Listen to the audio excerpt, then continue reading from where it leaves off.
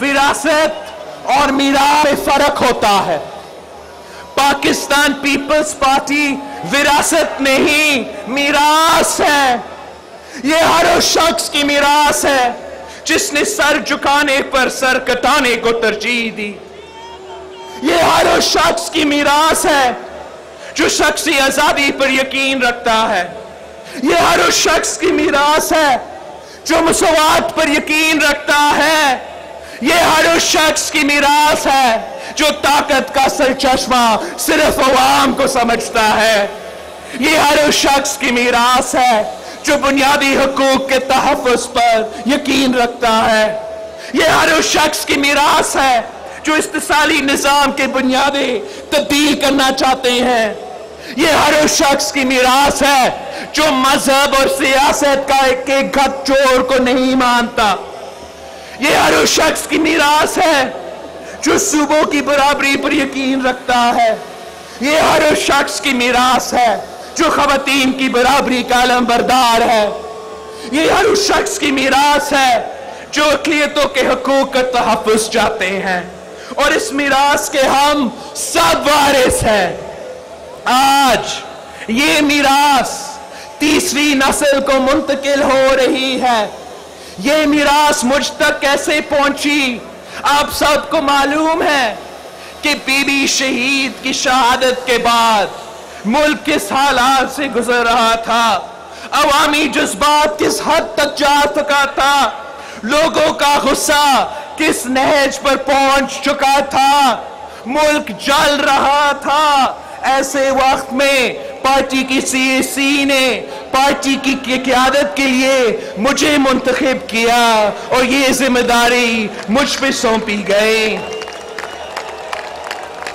چاروں صوبوں کی زنجیر ہے بلاول چاروں صوبوں کی زنجیر ہے بلاول پارٹی پارٹی کی پارٹی کی قیادت سنبھالنے کے بعد میں نے عوام کے جذبات کو ٹھنڈا کرنا تھا۔ لوگوں کا غصہ کو کم کرنا تھا۔ اس جلتی ہوئی آگ کو بجانا تھا۔ اس ملک کو پھر سے جمہوریت کے راستے پر لانا تھا۔ اس لیے صدر زرداری نے پاکستان کھپے کا نعرہ لگایا۔ اور میں نے جمہوریت بہترین انتقام ہے کہا۔ ہم نہیں چاہتے، ہم نہیں چاہتے تھے کہ الیکشنز ملتوی کیا جائے۔ ہم نہیں چاہتے تھے کہ ملک میں افراتفری پھیلے اور آمریت کو طول ملے۔ ہم ملک کو بچانا چاہتے تھے، ہم جمہوریت واپس لانا چاہتے تھے۔ ہم سمجھتے ہیں کہ جمہوریت ہی اس ملک کو متحد رکھ سکتی ہے۔ ساتھیوں تاریخ نے ہمیشہ ہمارا امتحان لیا اور ہم اس امتحان میں سرخرو ہوئے۔ ہم نے ہمیشہ غیر معمولی حالات میں اقتدار سنبھالا۔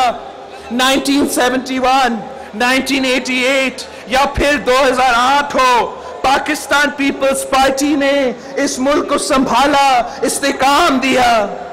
ہم ہم اقتدار اپنے لیے اپنی ذات یا اپنی پارٹی کے لیے نہیں۔ ہم اقتدار عوام کے لیے چاہتے ہیں۔ ہم اقتدار غریبوں کے لیے چاہتے ہیں۔ ہم آج بھی آج بھی بھٹو شہید اور بی بی شہید کے دیے ہوئے ان اصولوں پر قائم ہے کہ اسلام ہمارا دین ہے۔ مسوات ہماری معیشت ہے۔ جمہوریت ہماری سیاست ہے۔ طاقت کا سر چشمہ عوام ہے۔ اور شہادت ہمارا عمل ہے۔ اب وقت کی زباں ہے وقت کی زباں جرت کا نشان ہے۔ اب وقت کی زباں ہے جرت کا نشان ہے۔ بھٹوں کی صدا ہے۔ ہمارے ہمارے قائدین کے دیئے ہوئے یہ پانچ تاریخی اصول آج بھی ہماری رہنمائی کرتے ہیں۔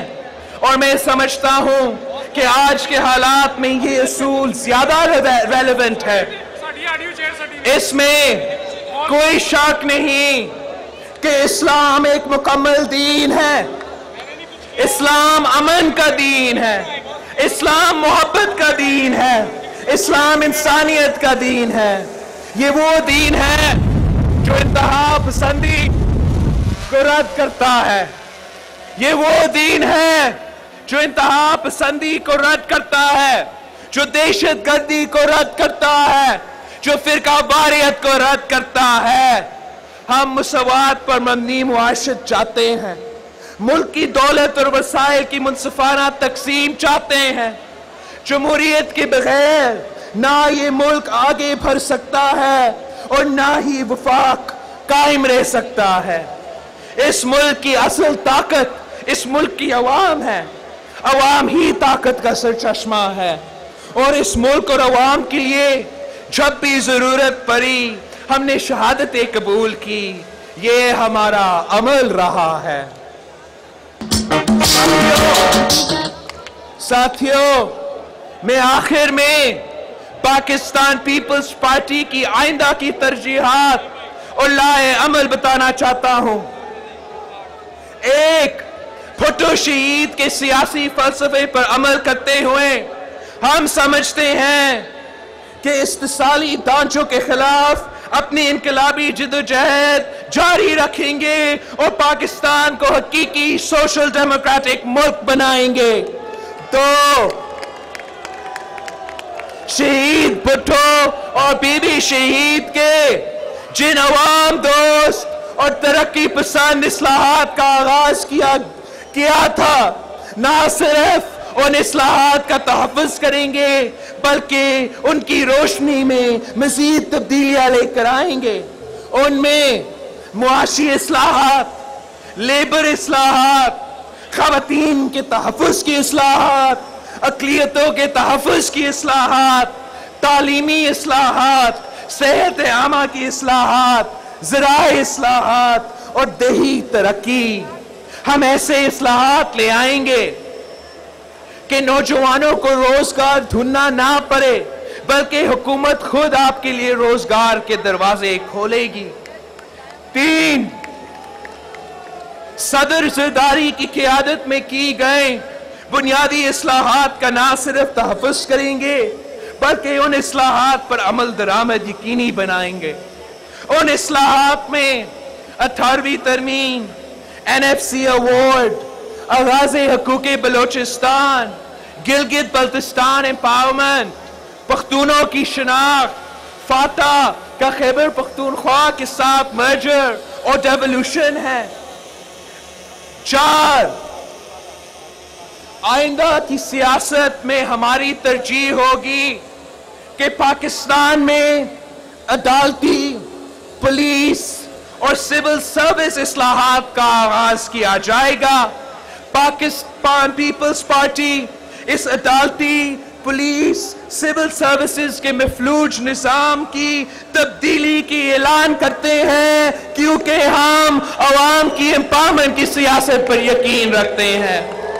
پانچ، حال ہی میں جس طرح writ of the state erode ہوا اس پر ہمیں تشویش ہے۔ ہم ریٹ آف دا اسٹیٹ اور رول آف لا کو قائم کریں گے۔ چھ، میں سمجھتا ہوں کہ ہمیں پھٹو شہید کا پاکستان بنانے کے لیے، بی بی شہید کا پاکستان بنانے کے لیے ابھی کئی اور دریا عبور کرنے ہیں۔ قربانی اور استقامت کے کئی نئے باپ رقم کرنے ہیں۔ اور پھر ہمیں تازہ دم ہو کر آئندہ پچاس سالوں کی جد و جہد اور منزل کے تعین کرنا ہے۔ اپنی روایت سے طاقت لیتے ہوئے نئی روایت قائم کرنی ہے۔ ایک نئی سماج کو جنم دینا ہے۔ جو سماج، دوش، جو سماج مذہبی منافرت سے پاک ہو۔ جو سماج استثالی ڈانچوں سے پاک ہو۔ جو سماج دہشت گردی سے پاک ہو۔ ایسا سماج جس میں حکمرانی کا حق عوام کے ہاتھ میں ہو۔ تو آؤ، آج ہم سب مل کر اس نظریہ کی حفاظت کا حلف اٹھاتے ہیں۔ قسم کھاؤ شہید ذوالفقار علی بھٹو کی روح کی۔ قسم کھاؤ شہید مرما بے نظیر بھٹو کی روح کی۔ قسم کھاؤ ان تمام شہید کارکنوں کی روحوں کی، جنہوں نے اس سفر میں ہم سب کے لیے خون سے شروع کے چراغ روشن کیے۔ قسم کھاؤ کہ ہم سب اس نظریہ کو حقیقت کا روپ دے کر رہیں گے۔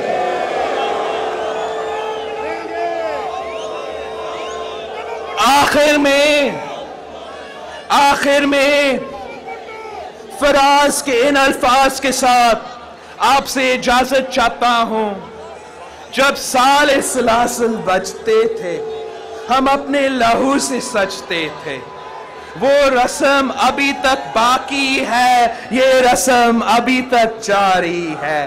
زخموں زخموں سے بدن گلزار سہی پر ان کے شکستہ تیر گنو۔ خود ترکش والے کہہ دیں گے، یہ بازی کس نے ہاری ہے؟ یہ بازی کس نے ہاری ہے؟ آپ سب کا بہت بہت شکریہ۔ جب تک سورج چاند رہے گا، جب تک سورج چاند رہے گا، جب تک سورج چاند رہے گا۔ یا اللہ یا رسول بے نظیر بے قصور۔ یا اللہ یا رسول بے نظیر بے قصور۔ یا اللہ یا رسول بے نظیر بے قصور۔ ساتھیوں ابھی ابھی ہمارے پاس چونکہ یہ جشن ہے پچاس سالہ تو ابھی پرفارمنس باقی ہے۔ آپ نے ایک مشہور پشتو سنگل زی کا فریدی کا نام سنا ہوگا۔ تو میں دعوت دوں گا۔ ابھی آپ کچھ دیر کے لیے یہاں پہ انتظار کریں، یہاں پہ رہیں۔ جائیے گا نہیں، چونکہ ہم جشن جاری رکھنا چاہتے ہیں۔